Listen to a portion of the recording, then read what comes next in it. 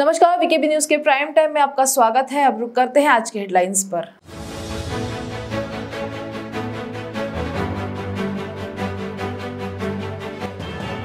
अब राज्य में होगी लोड शेडिंग शुरू। ऊर्जा मंत्री नितिन राउत ने की जनता से स्थिति संभालने की अपील।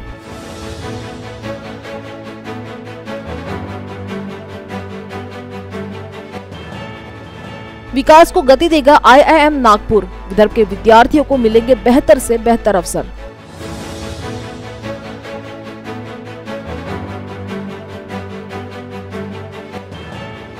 और दबाव में विश्वविद्यालय। परीक्षाएँ होगी ऑनलाइन। मौके से चूकने वाले विद्यार्थियों को देनी होगी ऑफलाइन परीक्षा।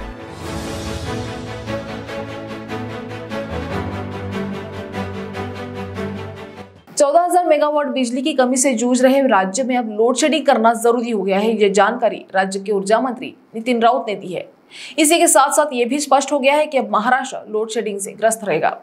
राज्य सरकार की ओर से लोड शेडिंग किए जाने के फैसले की अधिकृत घोषणा करते हुए ऊर्जा मंत्री ने बताया कि जिन क्षेत्रों में बिजली के बिल अदा नहीं किए गए हैं और जहाँ बिजली की चोरी होती है, वहाँ लोड शेडिंग की जाएगी। बिल बकाया और बिजली चोरी के आधार पर राज्य में नौ श्रेणियाँ बनाई गई हैं। इनमें जी वन जी टू और जी थ्री श्रेणी वाले इलाकों में कटौती होगी। उन्होंने कहा कि कोयले की भारी कमी तथा कोयले की आपूर्ति के लिए रेल विभाग द्वारा रैक उपलब्ध नहीं कराया जाने की वजह से ये कदम उठाना पड़ रहा है। बिजली संकट पर मुख्यमंत्री उद्धव ठाकरे, ऊर्जा मंत्री राउत और ऊर्जा विभाग के अधिकारियों की आज लगभग तीन घंटे तक चली बैठक में लोड शेडिंग का औपचारिक निर्णय लिया गया है। और अब खबरें विस्तार से।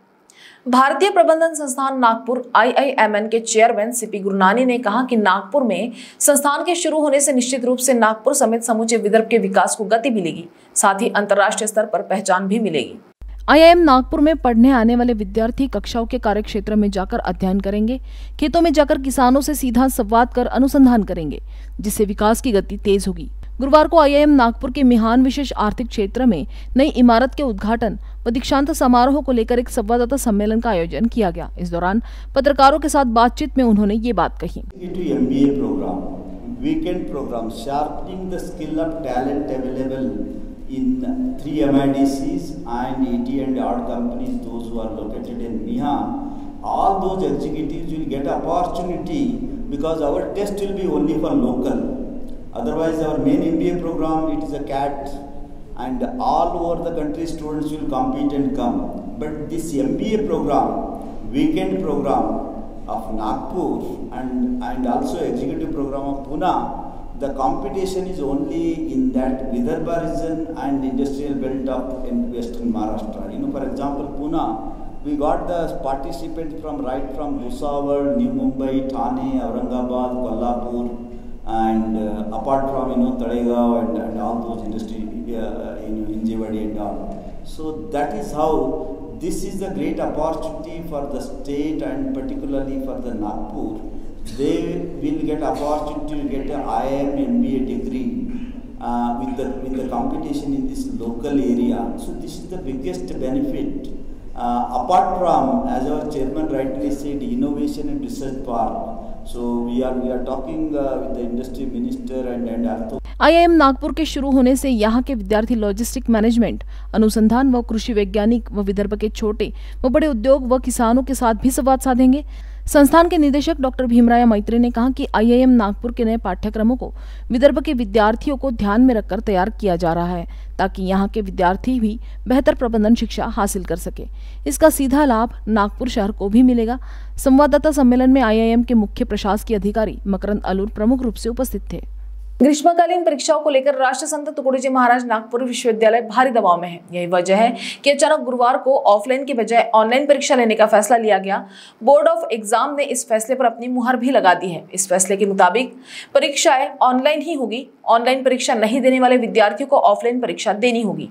हालाँकि ये तय किया गया है कि प्रैक्टिकल परीक्षाएँ ऑफलाइन ही ली जाएगी। विश्वविद्यालय की ओर से तीन माह पूर्व ऑफलाइन परीक्षा लेने की घोषणा की गई थी। इस फैसले को बदलने का फैसला लिया गया था।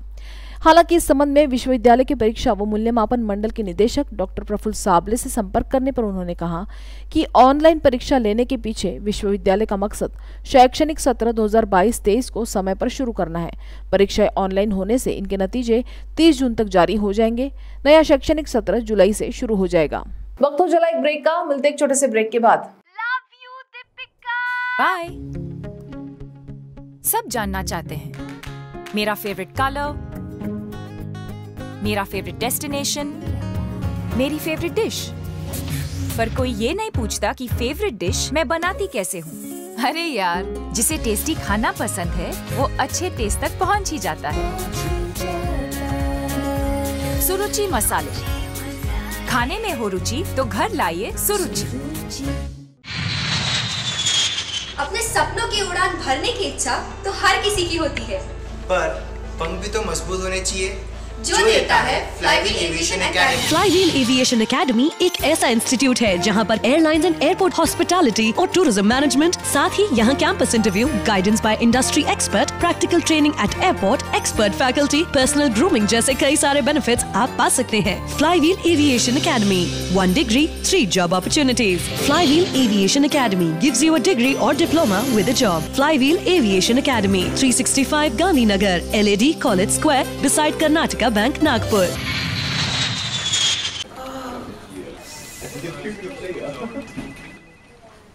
बॉस ने मीटिंग बुलाई। क्या यार? आदमी की तकलीफ़ को तो समझो। बाहर बाहर उठो बैठो उठो बैठो। जनाब तकलीफ़ उठने बैठने की नहीं। तकलीफ़ बवासीर की है। बवासीर फिशर भगंदर पाइलोनियल साइंस का आयुर्वेद तथा आधुनिक लेजर से उपचार। अभ्युदय पाइल्स लेजर हॉस्पिटल लोहार समाज भवन के पीछे महापुष्प सोसाइटी शताब्दी नगर चौक से मनीष नगर रोड नागपुर। कॉल और विज़िट करें www.pilesfistulacure.com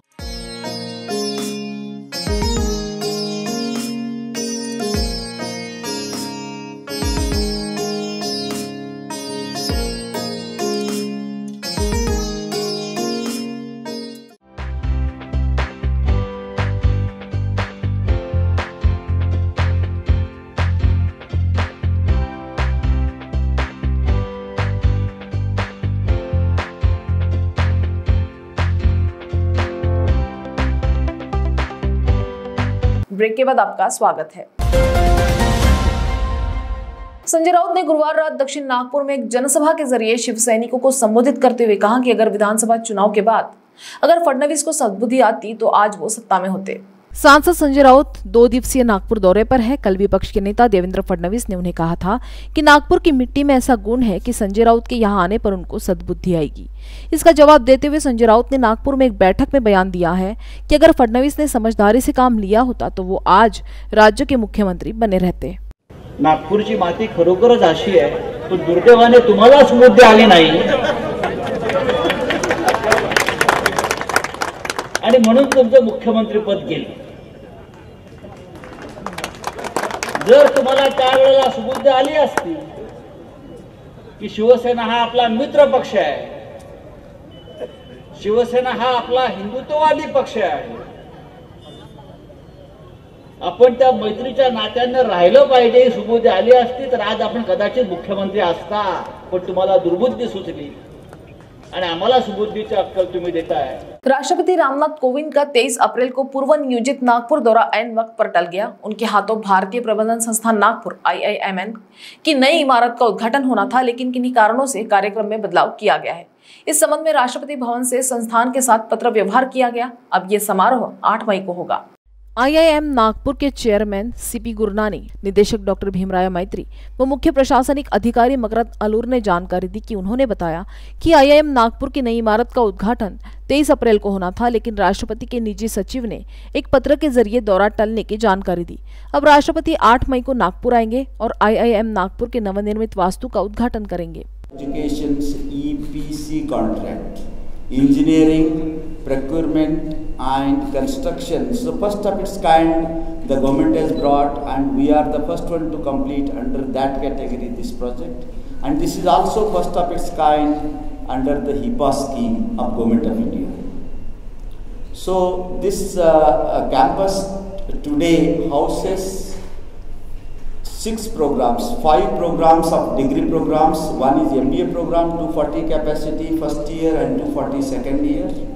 We have PhD program started last year. We also started the executive MBA program from Nagpur campus last year. पूर्व मुख्यमंत्री देवेंद्र फडणवीस ने आईपीएस अधिकारियों के तबादले पर प्रतिक्रिया व्यक्त करते हुए कहा कि राज्य के कई वरिष्ठ आईपीएस अधिकारियों का कल तबादला करने का आदेश दिया गया था लेकिन उनमें से कुछ को आदेश जारी होने के महज 12 घंटे बाद ही रद्द कर दिया गया। देवेंद्र फडणवीस ने कहा कि इससे पहले भी 10 आईपीएस अधिकारियों के तबादले रद्द किए जा चुके हैं ऐसी प्रतिक्रिया देवेंद्र फडणवीस ने दी है। आदेश परत गेल्याचं काय कारण आहे? समजलं पाहिजे. प्रशासकीय चूक झाली आहे. की मागच्या वेळेस जसं दहा आदेश डीसीपीचे थांबवले आणि नंतरच्या बदली घोटाळ्यामध्ये आता ते सीबीआयच्या स्कॅनरमध्ये आहे. आणि वसुलीचा तो भाग होता असं देखील त्या काळामध्ये लक्षात येत आहे. तर असा काही प्रकार आहे की नेमका काय प्रकार आहे?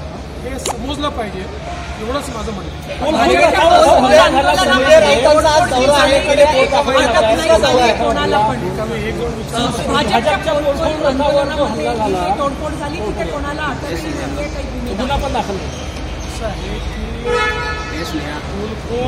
आम्ही रोज करतोय.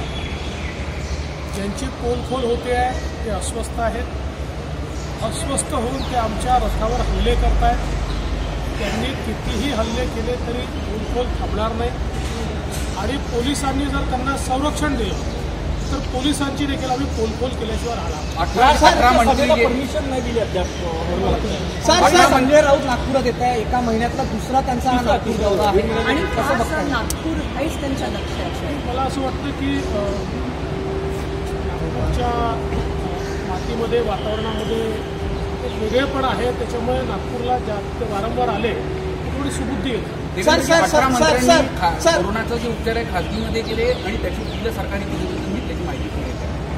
मला या संदर्भातली माहिती नाही आहे थोडं माहिती घेतली sir, sir, sir, sir, sir, Yes, Neha. Yes, Neha.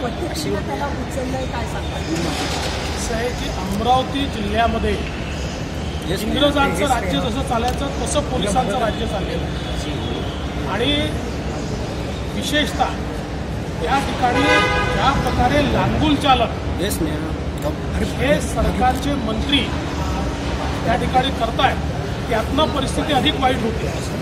या लांगुल चालनामुळे दोन समाज एकमेकासमोर उभे राहत आहेत त्यामुळे आज ही जी काही परिस्थिती या उभी होते याचं एकमेव कारण. पोलीस आणि सरकार यांची जी रिॲक्शन आहे पर्टिक्युलरली विशेषतः ज्या प्रकारे हिंदू समाजाला टार्गेट करण्याचं काम.